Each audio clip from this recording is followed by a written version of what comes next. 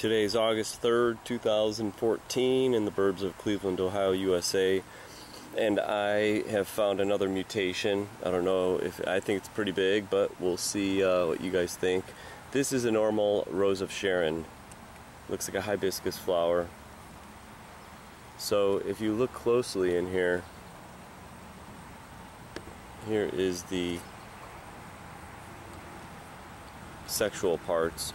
This is the stamen, which contains the pollen. And here's the pistil, which is the female part. Now this is a normal, I think this looks like a normal flower right in here. That's what it's supposed to look like. So I'll show you uh, the mutations that I found. Now here's the first one. And see how part of the petal is attached to where the the pollen should be, the stamen. So that's just a little one. That's how it starts.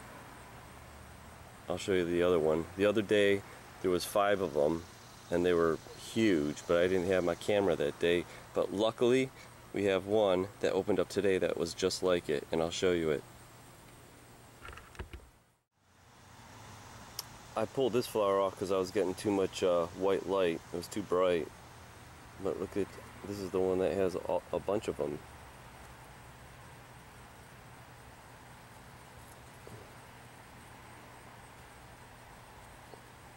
See how the, and it actually looks like the pollen doesn't look, the sacs don't look like they are, unless they need a little time to open.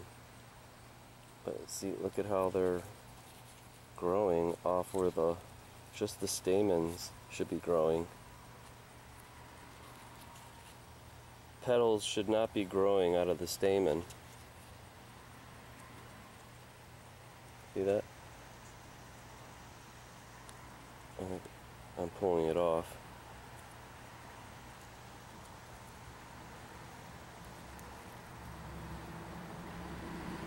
See that?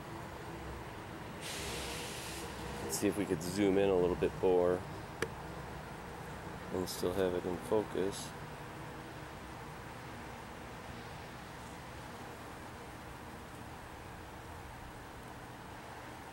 Now somewhere when that was growing, the DNA is not right because it's not supposed to do this.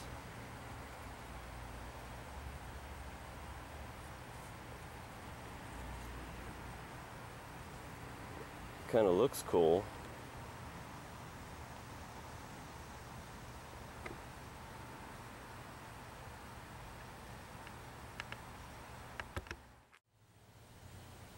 And here I think is another mutation that I found on another flower. It looks like the is it the pistil?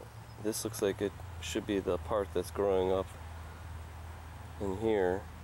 Now I don't know if this is the pistil, a part of this end that is mutated, or if it's a pollen sac that mutated. I'm pretty sure it should be one of these guys.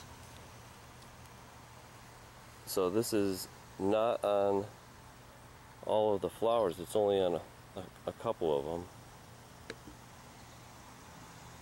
See that, that, that should have been growing up in here, I think.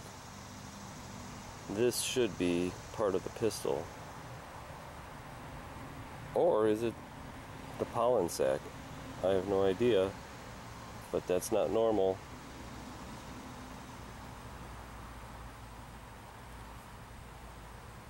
So there's two different major mutations on this Rose of Sharon.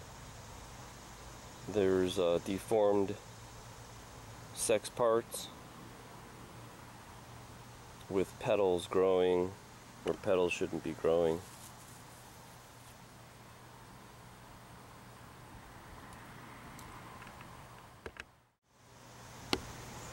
There you go, all three of them. Normal,